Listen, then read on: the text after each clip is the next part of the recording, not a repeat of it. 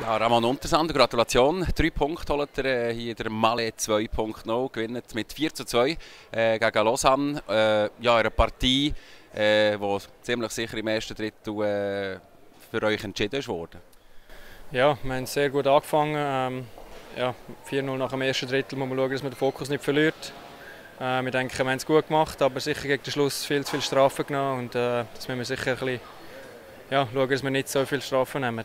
Wie kannst du die Effizienz erklären im ersten Drittel heute? Ähm, ja, wir probieren ja jeden Abend viel Goal zu schiessen und ähm, heute sind sie rein. Letztes Mal in Lugano haben wir auch viele Chancen gehabt, aber dann sind sie rein. Manchmal braucht man das nötige Glück und heute haben wir es sicher gehabt. Bezeichnend für mich auch noch gesehen, die Partie, äh, die Situation, die du mit dem Inalbon äh, beim Goal bist gesehen, äh, wo du ganz klar hast markiert, äh, bis dahin nicht weiter, also die Zone rund um Leonardo, äh, der Kampf äh, ist heute auch immens in der Defensive.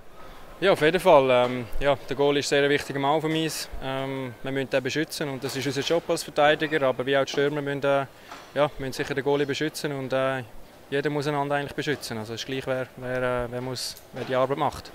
Jetzt äh, ist man in Lugano gesehen, vorher noch in Ambri, Lugano, jetzt in Lausanne. Wie fest freut man sich auf morgen äh, das Heimspiel gegen Biel von der eigenen Kulisse? Ja, wie gesagt, jetzt sind wir äh, ein Zeitchen unterwegs gewesen.